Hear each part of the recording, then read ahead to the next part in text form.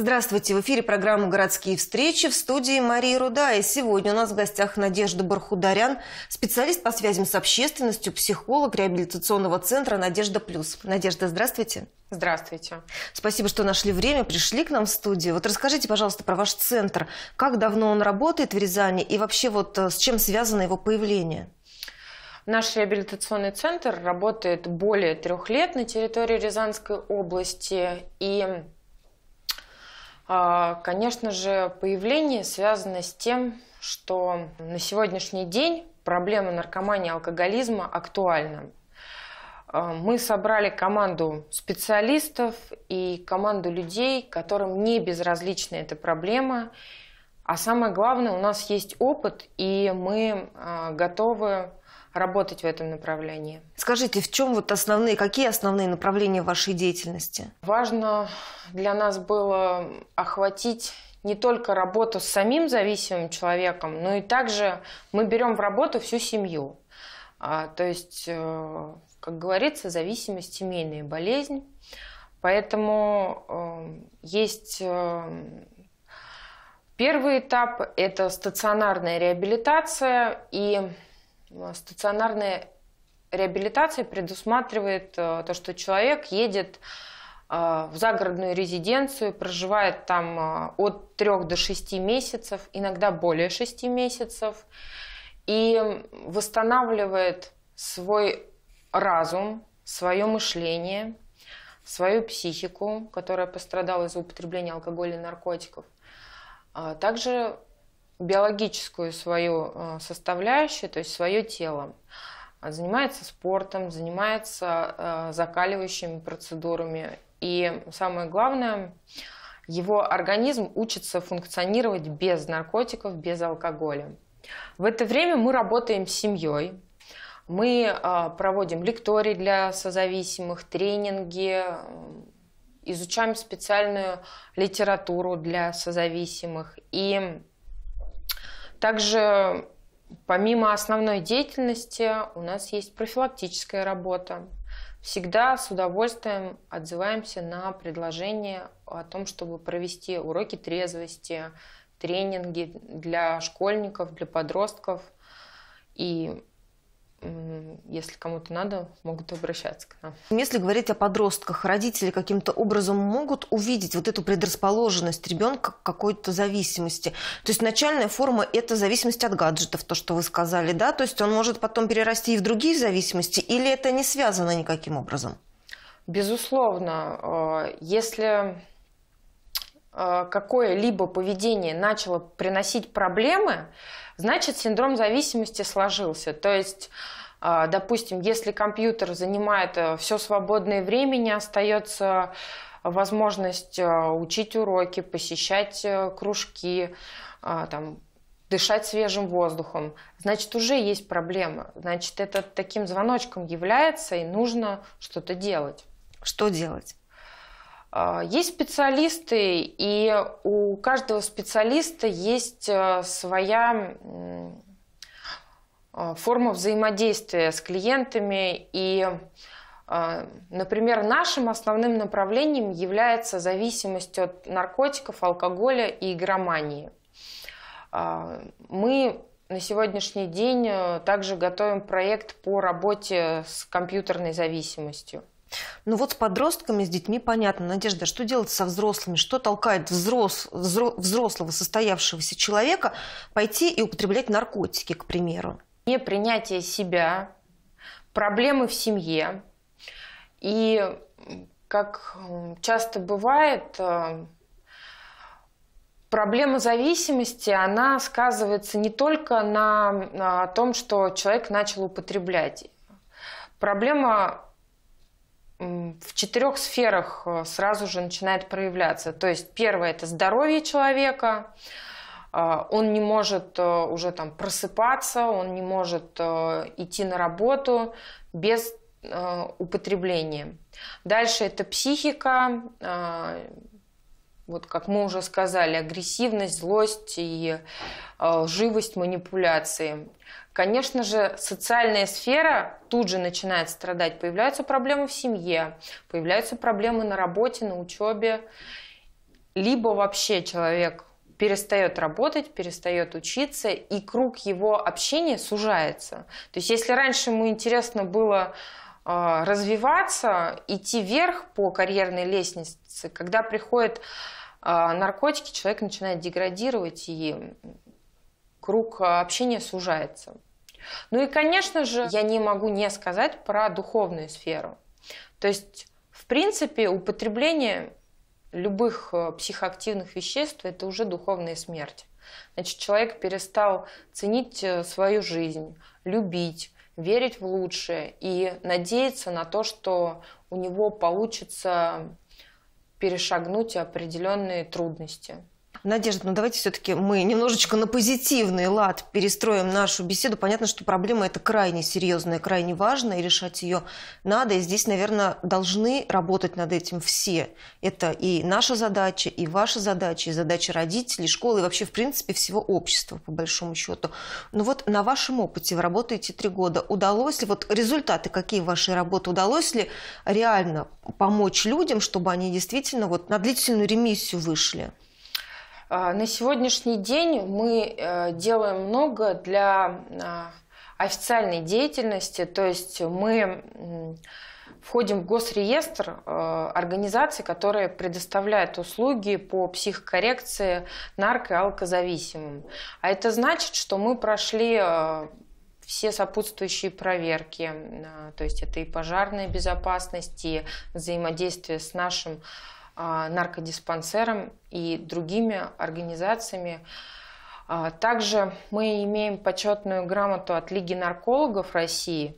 Но самое главное, что у нас есть э, а, много бывших э, пациентов, которые изменили свою жизнь. У кого-то появились дети, кто-то восстановил отношения с семьей, кто-то обрел новый путь в жизни. И именно это нас наполняет и помогает нам двигаться дальше.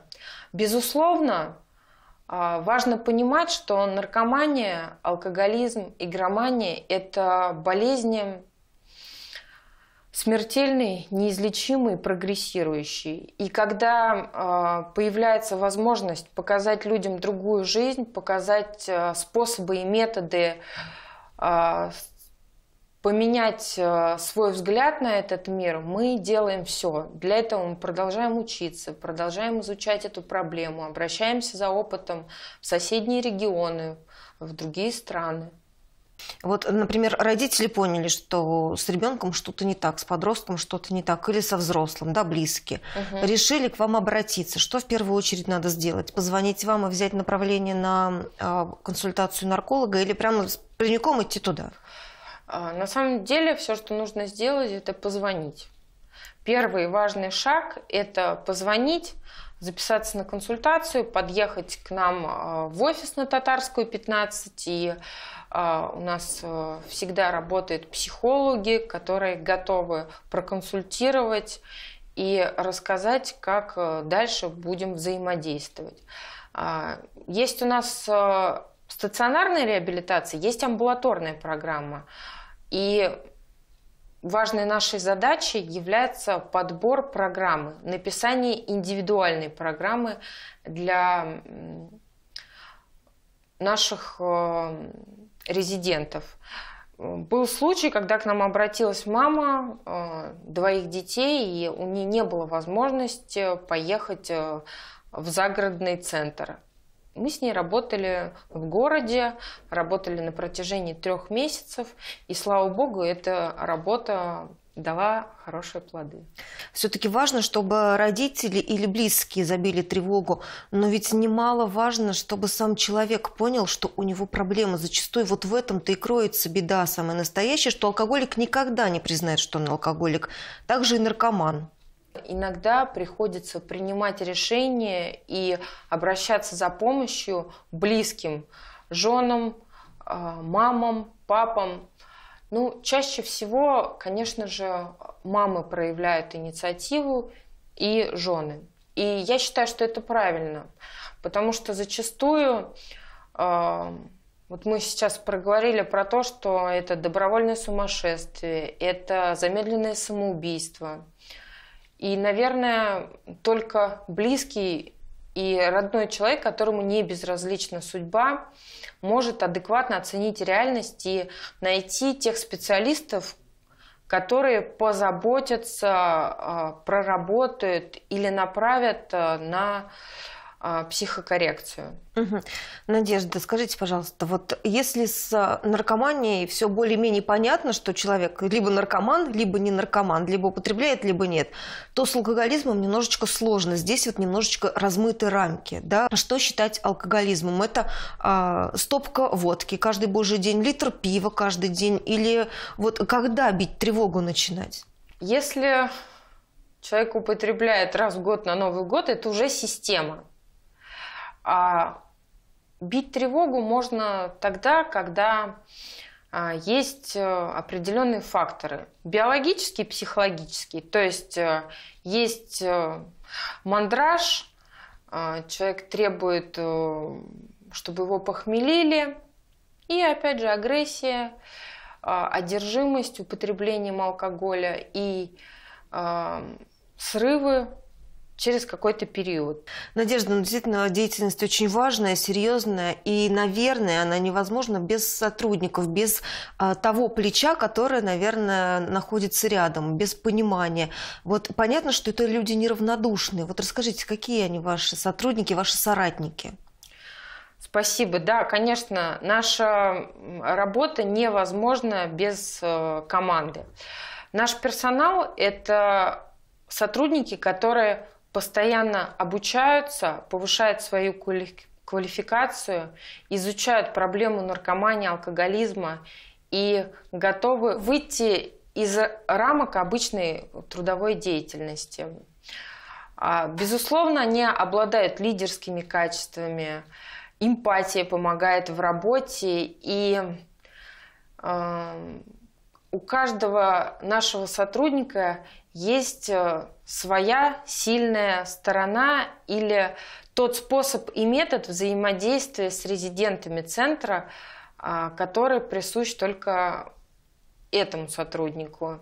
И мы ценим и а, всегда поддерживаем их в желании развиваться. Скажите, ну вы, наверное, главный идеолог этого центра, вы, наверное, вложили действительно туда частичку своей души. Скажите, какие качества вам помогают в работе? Потому что это ведь действительно очень сложно, и семья, собственно говоря, отнимает какое-то время, да, и а, вот понимают ли близкие, что вы много времени уделяете работе? А, моя семья меня поддерживает, и я выбрала такую работу, потому что моя личная боль, которая живет со мной по сей день, э, определила мою работу будущее. У меня погиб брат от употребления наркотиков, и э, я начала искать э, способы и выходы из э, сложившейся ситуации, изучала мировую практику, а, практику России, и тогда я узнала про 12-шаговую программу и о том, что она является самой эффективной в лечении наркомании и алкоголизма. А, я очень загорелась этим и нашла тех людей, которым также близка была и интересна эта программа, мы э, сначала просто мечтали о том, что когда-то это станет возможным, но обычно, когда человек очень э, сильно чего-то хочет, находятся э, люди, возможности и условия для того, чтобы реализовать э, поставленную цель. Ну вот действительно целей вы достигли очень много, и есть люди, как вы говорите, действительно, которые смогли отказаться от наркотиков и выбрать жизнь, реальную, реальную жизнь, настоящую, интересную.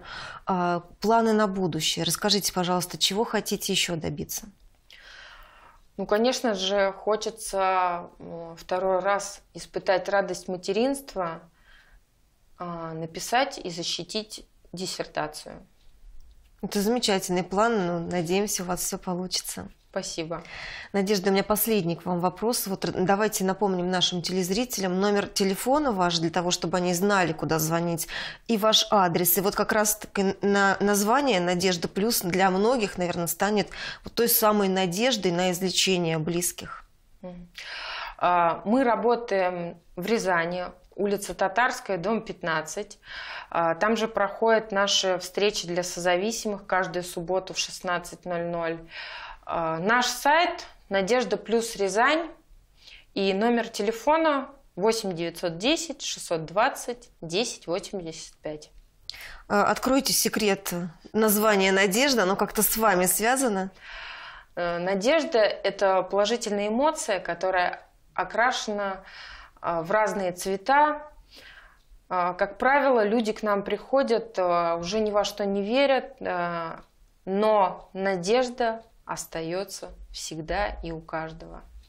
Ну, такой хороший, мотивационный у нас практически получилось завершение программы. Спасибо большое, что пришли к нам. Спасибо. До свидания. До свидания. На этом наша программа подошла к концу. Я с вами прощаюсь. До встречи в эфире телекомпании «Город».